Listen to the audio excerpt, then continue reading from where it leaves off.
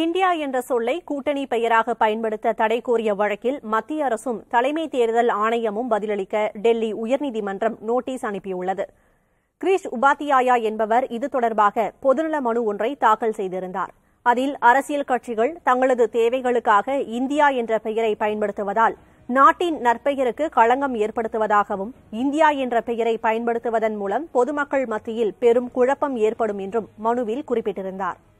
இந்த வழக்கு விசாரிக்கப்பட வேண்டிய ஒன்று என கூறிய நீதிபதிகள் வழக்கில் எதிர் மனுதாரர்களாக சேர்க்கப்பட்டுள்ள காங்கிரஸ் திரிணாமுல் காங்கிரஸ் திமுக ஆம் ஆத்மி உள்ளிட்ட எதிர்க்கட்சிகள் அனைத்தும் பதிலளிக்க நோட்டீஸ் பிறப்பித்து வழக்கை அக்டோபர் முப்பத்தி ஓராம் தேதிக்கு ஒத்திவைத்தனா்